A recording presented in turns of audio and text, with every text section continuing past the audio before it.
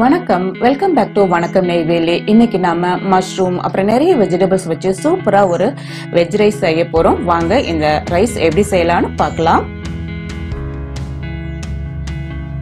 தேவையான பொருட்கள் இதெல்லாம் தான். இப்போ நான் சிவப்பு மஞ்சள் பச்சை குடைமிளகாய் இது மாதிரி பொடியாக நறுக்கி வச்சிருக்கிறேன். அப்புறம் பத் பத்து பீன்ஸ் அப்புறம் ஒரு கேரட் ஒரு பெரிய வெங்காயம் பத்து பல் பூண்டை பொடியாக நறுக்கி எடுத்து வச்சிருக்கிறேன். ரெண்டு பச்சை மிளகாயை கீரி எடுத்து வச்சிருக்கேன். அடுத்து நூ இரநூறு கிராம் அளவு மஷ்ரூமை இதை மாதிரி நறுக்கி எடுத்து வச்சுக்கோங்க. அப்புறம் கொஞ்சம் ஸ்ப்ரிங் ஆனியனையும் கட் பண்ணி வச்சுக்கோங்க. ரெண்டு கப் பாஸ்மதி ரைஸை இது மாதிரி வடித்து எடுத்து வச்சுக்கோங்க. அப்புறம் சோயா சாஸ் வினிகர் இதுதான் நமக்கு தேவை. இப்போ வாங்க எப்படி செய்யலான்னு பார்க்கலாம். ஒரு பாத்திரத்தில் ஒரு டேபிள் ஸ்பூன் அளவு எண்ணெய் விட்டுட்டு அதில் மஷ்ரூமை சேர்த்து வதக்கிக்கலாம். இதில் கொஞ்சமாக உப்பு அப்புறம் மிளகுத்தூள் சேர்த்து வதக்கி எடுத்து வச்சுக்கோங்க. இதை மாதிரி எடுத்து வச்சிடலாம்.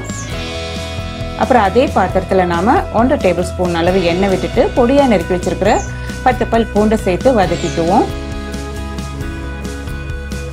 இதுலேயே இப்போ நாம் ஒரு பெரிய வெங்காயத்தை பொடியாக நறுக்கி வச்சுருக்கோம் இல்லையா? அதையும் சேர்த்து வதக்கிக்கலாம். ரெண்டு பச்சை மிளகாயும் சேர்த்துக்குவோம். அப்புறம் இந்த கேரட்டை சேர்த்து வதக்கிக்கலாம். பீன்ஸையும் சேர்த்துக்குவோம். இந்த கேரட் பீன்ஸ் இதெல்லாம் வந்து லேசாக வதங்கினா போதும். அப்படியே ரொம்ப அப்படியே வேகணும்னு அவசியம் இல்லை. அப்புறம் சிவப் சிவப்பு மஞ்சள் பச்சை குடைமிளகாயெல்லாம் நறுக்கி வச்சிருந்தோம் இல்லையா? அதையும் சேர்த்துக்கலாம். சேர்த்து ஒரு வதக்கு வதக்கிக்குவோம்.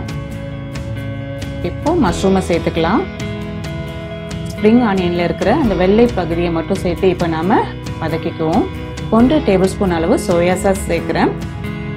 ஒரு டீஸ்பூன் வினிகர் சேர்த்துக்கலாம். தேவையான அளவு உப்பை சேர்த்து நல்லா கலந்து விட்டுக்குவோம். இப்போ நாம் பாஸ்மதி ரைஸை சேர்த்துடலாம். ரைஸை சேர்த்து நல்லா மிக்ஸ் பண்ணி விட்டுக்கோங்க.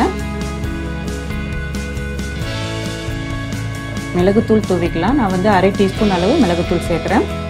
இப்போது நம்மளுடைய வெஜ் ரைஸ் ரெடி ஆயிடுச்சு. லாஸ்ட்டாக இப்போ நம்ம ஸ்ப்ரிங் ஆனியனை அப்படியே தூவி விட்டு இறக்கிட்டோன்னா சூப்பராக நம்மளுடைய மஷ்ரூம் வெஜ் ரைஸ் ரெடி ஆகிடும் பார்த்தீங்கன்னா ரொம்ப ரொம்ப ஹெல்த்தியான இந்த ரைஸை நீங்களும் செஞ்சு பாருங்கள் இந்த வீடியோ உங்களுக்கு பிடிச்சிருந்தா லைக் பண்ணுங்கள் ஷேர் பண்ணுங்கள் மறக்காமல் நம்ம சேனலை சப்ஸ்கிரைப் பண்ணுங்கள் தேங்க்யூ